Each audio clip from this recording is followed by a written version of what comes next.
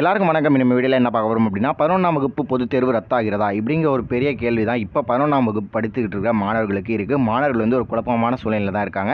இதை பற்றின முழு இந்த இடத்துல பார்க்கலாம். பதினொன்றாம் வகுப்பு பொதுத் தேர்வுகள் ரத்து செய்யப்பட வாய்ப்புகள் இருக்கா அப்படிங்கிறதையும் நம்ம பார்க்கலாம்.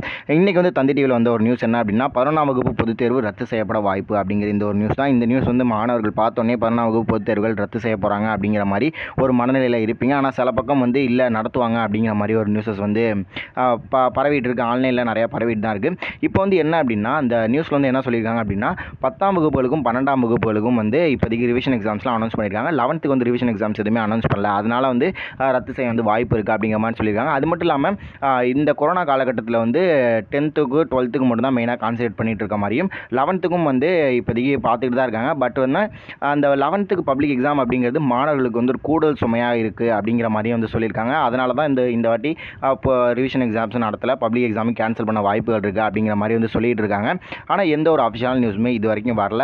அதனால் நீங்கள் என்ன ஒன்று புரிஞ்சுக்கணும் அப்படின்னா ஒரே ஒரு விஷயம் சொல்கிறேன் என்ன அப்படின்னா போன வருஷம் டுவெல்த்து படித்த மாணவர்களுக்கு வந்து ஆல் பாஸ் போட்டாங்க.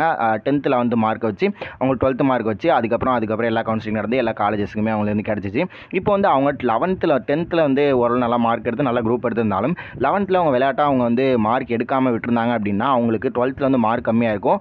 அவங்கள வந்து நினச்ச காலேஜ் வந்து அவங்களுக்கு பிடிச்ச காலேஜ் வந்து கிடைக்காம போயிருக்கலாம். அதனால் நான் வந்து நான் உங்களுக்கும் இப்படி தான் நடக்கும் அப்படின்னு நான் கன்ஃபார்மாக சொல்லலை. பட் இருந்தாலும் வந்து லெவன்த்தில் வந்து ஓரளவு படிங்க.